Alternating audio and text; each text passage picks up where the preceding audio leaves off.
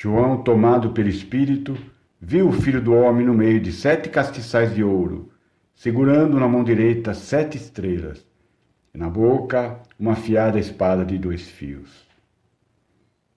O esplendor do seu rosto era como o do sol na sua maior força. Disse-lhe então o Senhor Deus, o Todo-Poderoso, o que é, o que era e o que virá. Escreve o que tens visto que diz respeito tanto ao tempo presente como ao futuro. Especificamente ao mensageiro da igreja em Filadélfia, ordenou que anotasse o seguinte: Isto é o que te diz aquele que é santo e verdadeiro, e que tem a chave de Davi, para abrir sem que mais ninguém venha fechar, e fechar sem que mais ninguém possa vir abrir. Conheço toda a tua atividade. Abri diante de ti uma porta que ninguém poderá fechar.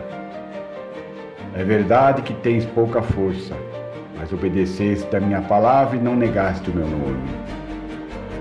Obrigarei todos os que sustentam a causa de Satanás, que se consideram judeus e não o são, pois são mentirosos, a curvarem-se a teus pés e a reconhecerem que é a ti que eu amo.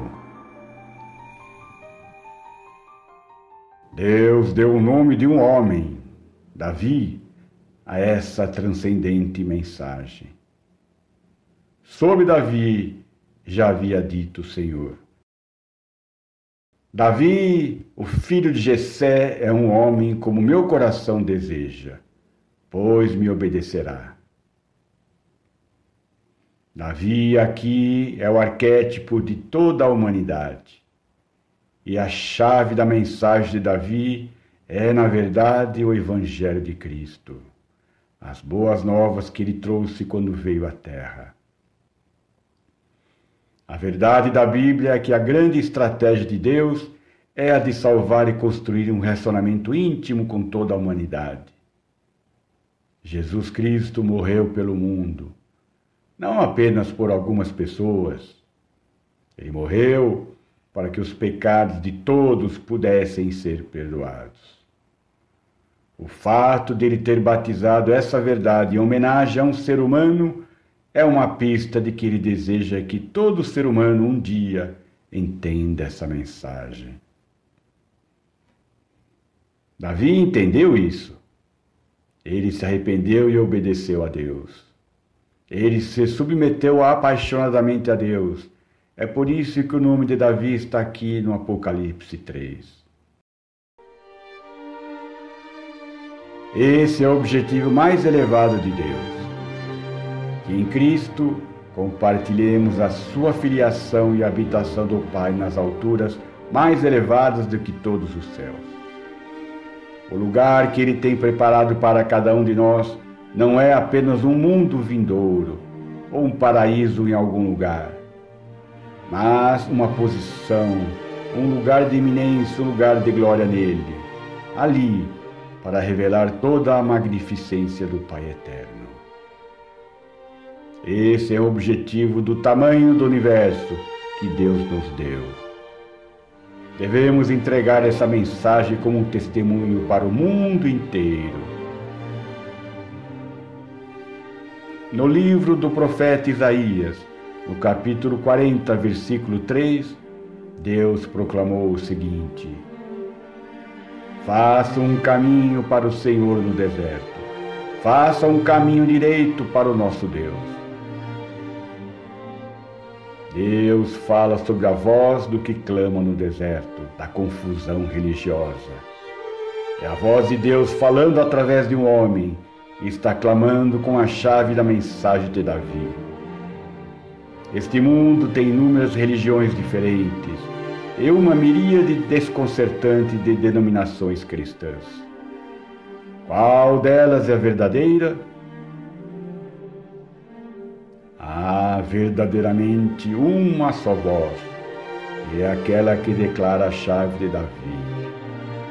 Esta é a mensagem específica e a voz específica. A ascensão do racionalismo e do humanismo dentro da igreja nada mais é do que o novo ateísmo entronizando-se sobre as ruínas da reforma protestante.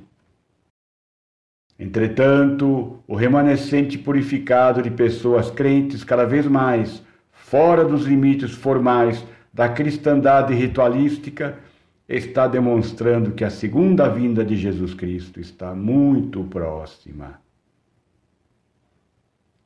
A sinagoga de Satanás, mencionada em Apocalipse 3, 9, é um ponto de apoio que Satanás tem dentro da igreja de Laodiceia, em que estamos vivenciando presentemente. Pois já estamos no último tempo, como João declara categoricamente em sua primeira epístola, capítulo 2, versículo 18. Agora mesmo Deus está batendo a nossa porta, tentando entrar, para que o seu povo se volte para Ele e para que possam compreender e alcançar a sua maravilhosa chave do futuro de Davi. Aleluia! porque toda a criação espera com ardente esperança esse dia futuro em que Deus dará a conhecer os seus filhos. Esse dia, tudo aquilo a que o mundo ficou sujeito por causa do pecado desaparecerá. E todo mundo à nossa volta participará da gloriosa liberdade que os filhos de Deus hão de desfrutar em relação ao pecado porque sabemos que a própria natureza espera até agora esse tão grande acontecimento, como se estivesse com dores de parto.